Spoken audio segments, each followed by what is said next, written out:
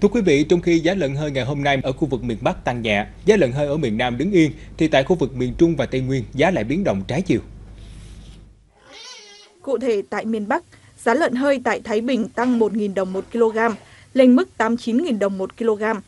Tại các địa phương khác, giá lợn hơi đứng yên và giao động quanh mức từ 88.000 đồng đến 92.000 đồng 1 kg. Tiếp tục chờ thêm thông tin thị trường, khiến thị trường lợn hơi ở miền Bắc ít biến động. Tại miền Trung và Tây Nguyên, giá lợn hơi tại Quảng Bình và Bình Định tăng 1.000 đồng 1 kg, phổ biến ở mức 86.000 đồng đến 87.000 đồng 1 kg. Tại Quảng Trị, Quảng Nam, Quảng Ngãi, Thừa Thiên Huế, giá lợn hơi duy trì ở mức thấp nhất với giá 81.000 đồng đến 83.000 đồng 1 kg. Bình Thuận vẫn là địa phương có giá lợn hơi ở mức cao nhất, 93.000 đồng 1 kg. Tại miền Nam, giá lợn hơi ngày 16 tháng 7 tiếp tục ổn định và phổ biến ở mức từ 85.000 đồng đến 92.000 đồng 1 kg. Riêng Kiên Giang, giá lợn hơi tăng 4.000 đồng so với ngày hôm qua 15 tháng 7 và đang ở mức 90.000 đồng 1 kg. Thông tin từ Cục Thú y Bộ Nông nghiệp và Phát triển Nông thôn, tính đến nay đã có khoảng 9.000 con lợn sống được 7 doanh nghiệp trong nước nhập khẩu chính thức từ Thái Lan về Việt Nam. Nhiều ý kiến cho rằng là việc thị trường thịt lợn trông chờ vào lợn nhập chính thức từ Thái để kéo giá bán xuống là khó. Bởi lẽ giá lợn hơi chăn nuôi công nghiệp tại Thái Lan hiện nay là khoảng 60.000 đồng một kg, nhập về đến Việt Nam có giá khoảng 70.000 đồng một kg. Nhưng nếu tính thêm chi phí cách ly, hao hụt và xét nghiệm thì có thể lên tới 80.000 đồng một kg. Mức giá này sẽ không đủ để cạnh tranh với thị trường trong nước và điều này cũng khiến cho chính các doanh nghiệp nhập khẩu thịt lợn sống từ Thái Lan không còn mặn mà. Thời gian gần đây, khi mà giá thịt lợn trong nước tăng mạnh, nhiều đối tượng tổ chức vận chuyển lợn từ Campuchia về Việt Nam tiêu thụ. Trước tình hình trên, thì Ủy ban Nhân dân tỉnh Đồng Tháp đã yêu cầu sở ngành địa phương cần phải tăng cường kiểm soát vận chuyển lợn sống qua biên giới. Các lực lượng chức năng được lệnh tăng cường kiểm tra, kiểm soát tại các tuyến đường giao thông, đặc biệt tại các cửa khẩu, đường mòn, lối mở khu vực biên giới để kịp thời phát hiện và xử lý nghiêm các trường hợp buôn bán, giết mổ, vận chuyển động vật và sản phẩm động vật mắc bệnh, không rõ nguồn gốc, tăng cường công tác kiểm dịch, vận chuyển động vật và sản phẩm động vật tại các trạm kiểm dịch đầu mối giao thông. Phối hợp chính quyền địa phương và các cơ quan chuyên môn tổ chức tiêu hủy khi bắt được các lô hàng thịt lợn và các sản phẩm từ thịt lợn vận chuyển bất hợp pháp qua biên giới. Ủy ban dân tỉnh Đồng Tháp cũng đề nghị Cục Quản lý Thị trường phối hợp với các ban ngành tăng cường kiểm soát lưu thông, kịp thời phát hiện các trường hợp vận chuyển trái phép lợn sống và sản phẩm từ lợn ra vào tỉnh – xử lý nghiêm các trường hợp nhập lậu, vận chuyển, buôn bán trái phép lợn và các sản phẩm từ lợn.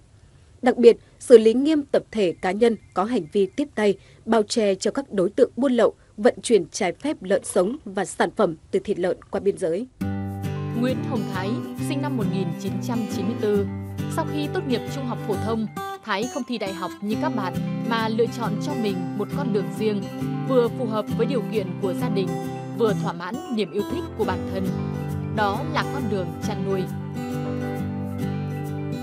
Dù trải qua không ít biến cố trong giai đoạn đầu, thế nhưng đến nay, mô hình nuôi lợn rừng với số lượng gồm 15 con lợn ngáy và hơn 100 con lợn con đã đi vào ổn định. Sau 2 năm ờ, khởi nghiệp thì ờ, với con lợn rừng thì cái công việc chăn nuôi thì trở nên rất là thuần thục và rất là nhẹ nhàng, đơn giản. Nó không có là mệt nhọc hay là vất vả gì nhiều ạ. Không còn những bữa ăn công nghiệp. Hai năm nay, mỗi ngày Thái đều sử dụng thức ăn tự phối trộn cho lợn. Cỏ voi, cám gạo cùng các vitamin, khoáng chất, tất cả đều được đưa vào máy, xay nhỏ và trộn đều, tạo thành một loại thức ăn hỗn hợp cho lợn. Khi mà em chế biến như thế này thì ờ, bỏ vào thì nó ăn được hết 100%. Còn khi mà em tách riêng ra giữa cảm tính và thức ăn thô xanh thì nó chỉ ăn mỗi cảm tính không và thức ăn thô xanh thì nó chỉ ăn tầm cỡ 50%. Chất lượng thịt nó nạc hơn, lượng mỡ nó ít xuống và cái ờ, cái cái thịt nó thơm ngon hơn giống như lợn ở trên trên rừng thật sự luôn. Không chỉ quan tâm đến thức ăn và chế độ chăm sóc, Thái chủ động phòng bệnh cho lợn bằng các biện pháp tổng hợp như tiêm phòng, vệ sinh khu vực chăn nuôi, cách ly trang trại. Do đó, đàn lợn tại đây chưa bao giờ mắc phải những dịch bệnh nguy hiểm.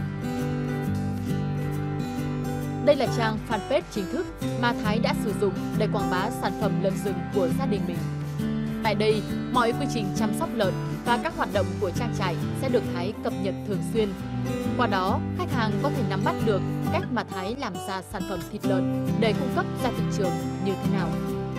Rất là nhiều người từ Nam và Bắc ở miền Nam, miền Trung, miền Bắc gì đều biết đến mình và đến tham quan và mua giống hết ạ. Một năm nay, ngoài việc bán lợn rừng thương phẩm, Thái còn xuất bán lợn giống cho nhiều hộ dân trong địa bàn tỉnh Nghệ An. Điều đặc biệt, mỗi hộ sau khi nhập giống sẽ được Thái bao tiêu đầu ra cho các sản phẩm lợn rừng. Đến nay, Thái đã có 11 đối tác cùng tham gia nhóm liên kết nuôi lợn rừng của mình. Người ta đã bị vấp phải những cái những cái gì khó khăn trong cái chăn nuôi cũng như là cũng như là cái đầu ra cho con lợn thì từ đó là mình người ta sẽ chỉ giúp cho mình những cái kinh nghiệm trong chăn nuôi đó để giúp mình hạn chế tối đa nhất những cái thiệt hại ờ, gây ra trong quá trình mình chăn nuôi. Khi mà được liên kết với các cái hộ gia đình á thì sẽ được à, cái nguồn nguồn hàng của mình rất là ổn định và cái nguồn à, và cái uh, cách thức chăm sóc và kỹ thuật thì sẽ được ừ, à, tư vấn hết cho tất cả cái người tham muốn tham gia vào chương trình và để, để tạo lên một cái uh, nguồn thực phẩm sạch an toàn. Hiện mỗi năm, mô hình chăn nuôi lợn của Thái đã mang về khoản lợi nhuận gần 200 triệu đồng. Dự kiến sắp tới, anh sẽ nhân rộng mô hình, phát triển giống lợn rừng Việt Nam thuần chủng để đáp ứng nhu cầu của khách hàng.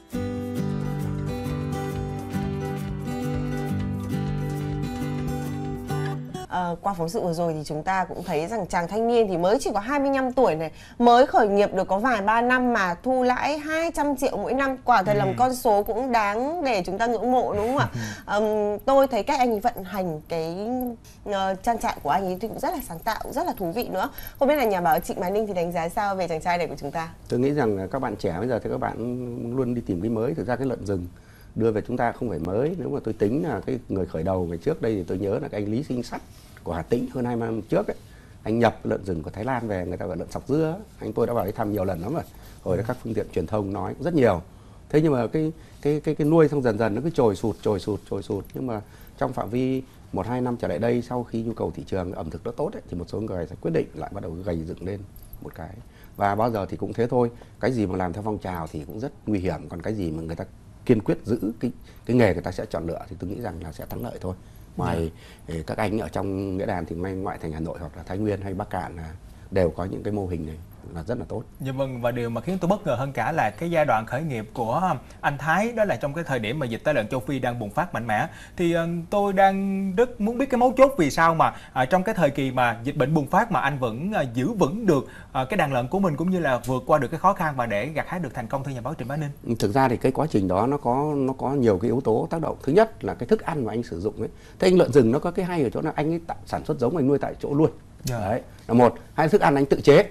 Thế là hai cái đó là cho nên người ta nói rằng là một số tôi về quê thì một số người nói rằng nếu ở quê những người nào người ta nuôi bằng cám gạo và rau bèo ấy thì không bị dịch chết. Hai nữa cái lợn rừng thường các anh nuôi nuôi lượng nó ít.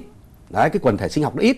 Chứ còn nuôi nuôi lợn quần thể chọc lớn thì cái cái khả năng để gọi là phát phát dịch bao giờ cũng lớn hơn. Đấy có những cái điều đấy nó cho chúng ta biết hơn nữa là lợn rừng nuôi ở một khoảng cách rất rộng tức là cái, cái bao giờ các anh phải giữ một cái diện tích rất rộng để cho nó vận động thế thì rất nhiều nguyên nhân đó nó làm cho cái đàn lợn rừng ấy là rất ít bị bệnh đợt dịch tả vừa rồi Vâng, um, chúng ta cũng biết rằng là lợn rừng thì cũng có sức đề kháng tốt. Tuy nhiên thì để nuôi lợn rừng thì cũng không phải là điều dễ dàng.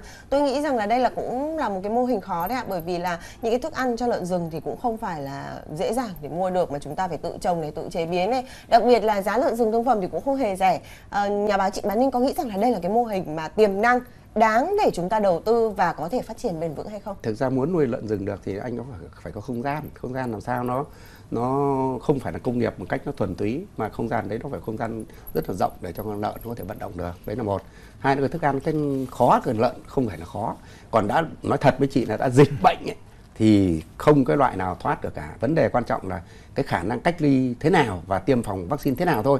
Còn lợn, kể cả lợn lợn hiện nay đang nuôi các trang trại lớn hay là kể cả lợn rừng đi nữa thì vẫn có khả năng bị bệnh. Dạ vâng, à, rõ ràng là với cái lợi thế đầu tư thấp đúng không ạ? Theo tôi hiểu biết và tôi tìm hiểu thì nuôi lợn rừng có lãi cao là do người nông dân của chúng ta thưa quý vị là họ có cái sự đầu tư à, thấp nè, thị trường tiêu thụ thì à, người tiêu dùng ưa thích chứ tuyệt đối là không phải là do lợn quá mắn đẻ hoặc là tăng trọng nhanh như là các giống lợn công nghiệp mà chúng ta thường thấy. Nuôi lợn rừng thì à, bên cạnh đó lại tận dụng được cái nguồn thức ăn xanh vốn có sẵn, rẻ tiền, phong phú, đa dạng quanh năm ở một quốc gia nhiệt đới như Việt Nam và tôi nghĩ đây cũng chính là lý do giúp cho mô hình này trở thành mô hình tiềm năng như là nhà báo Trịnh Bá Ninh của chúng ta vừa chia sẻ ạ. Vâng, tôi có một cái thắc mắc nhỏ nữa là liệu trong tương lai thì ngoài thịt lợn rừng ra thì chúng ta có thể ờ, phát triển được những cái loại gì khác không? Bởi vì tôi biết là ở nước ngoài thì họ có thể phát triển được rất là nhiều, ví dụ như là da này, lông ừ. này, răng nanh họ cũng có thể khai thác được và thậm chí yeah. Dạ. là thịt lợn rừng thì họ cũng chế biến được rất là nhiều những món ăn món như là xúc xích nữa. Yeah. Dạ. À, không hiểu nhà báo Trịnh Bá Ninh có thể chia sẻ cho chúng tôi thêm về cái vấn đề này được không ạ? Thực ra lợn rừng ấy thì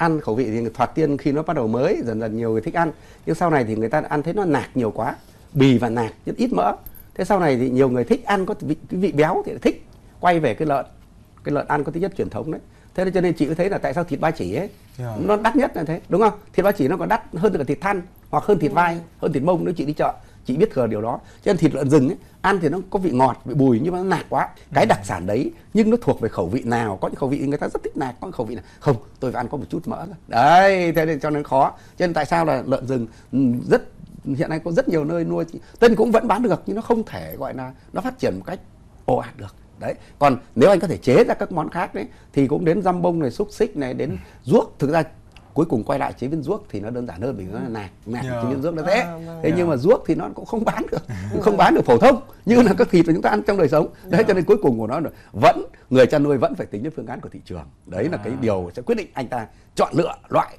lợn nào Dạ, và mặc dù là đã có sự cái đa dạng quá trong cái phương thức mà à, sản xuất để mà có thể là giúp là cải thiện cái việc tiêu thụ thế nhưng rõ ràng cũng có một cái thực tế nhìn nhận là do cái nhu cầu thị trường như thế nào nữa đúng không ạ thưa nhà bác Trịnh Bá Ninh? Dạ. à, tôi được biết thì à, Việt Nam của chúng ta thịt lợn vốn là cái thực phẩm truyền thống và ưa thích của bà con rồi. Nay lại có thêm thịt lợn rừng nè thơm ngon hơn. À, gần như là như là nhà báo à, Trịnh Bá Ninh chia sẻ là không có mỡ nè vâng. lớp da dày giòn ngậy rất là hấp dẫn. Mà uh, cung cầu phải gọi là cái tình trạng cung cầu thì phụ thuộc vào thị trường nhiều khi là cái nguồn cung không đủ nhu cầu vẫn được đang được xem là một cái mặt hàng đặc sản ở Việt Nam hiện nay và ở nước ta hiện nay thì nhiều nơi đã thành công trong việc chăn nuôi lợn rừng và từ đó thì đem lại lợi nhuận cao cho bà con nông dân và cũng góp phần đa dạng hóa sản phẩm chăn nuôi chuyển dịch cơ cấu nông nghiệp và tạo thêm công ăn việc làm và tăng nguồn thu nhập cho bà con nữa. Vâng, và đầu tư thấp để thị trường thì rất là tiềm năng, kỹ thuật chăm sóc, nuôi dưỡng thì đơn giản và rủi ro ít, sức cạnh tranh với thịt lợn công nghiệp cũng rất là cao. Mặt khác thì chính sách khóa cửa rừng của nhà nước làm hạn chế cái việc săn bắt lợn rừng tự nhiên nên là thị trường tiêu thụ lợn rừng chủ yếu vẫn là từ nguồn chăn nuôi ở trong dân chúng.